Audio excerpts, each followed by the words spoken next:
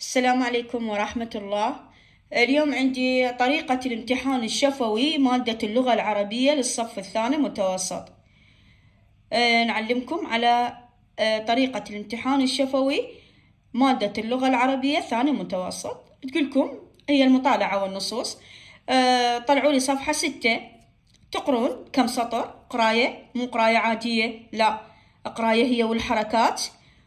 يعني يقول وأوحينا إلى أم موسى أن أرضعيه فإذا خفت يعني هي والحركات عليه فألقيه.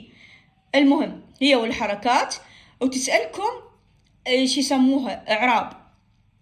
فهذا الإعراب مين تأخذونه من قواعد. يعني أنتم هم تقرون مادة القواعد دي لمادة نصف السنة.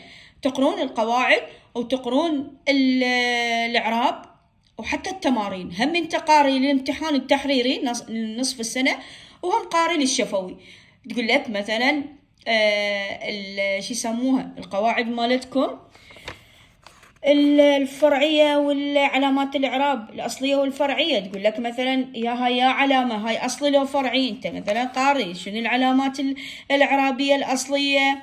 الضمة الفتحة الكسرة السكون أما الفرعية الواو والألف يعني هيجي.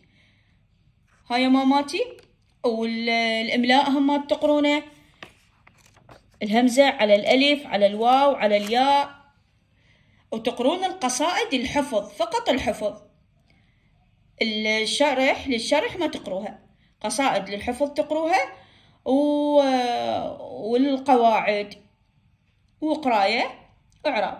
هذا الامتحان الشفوي. إن شاء الله التوفيق.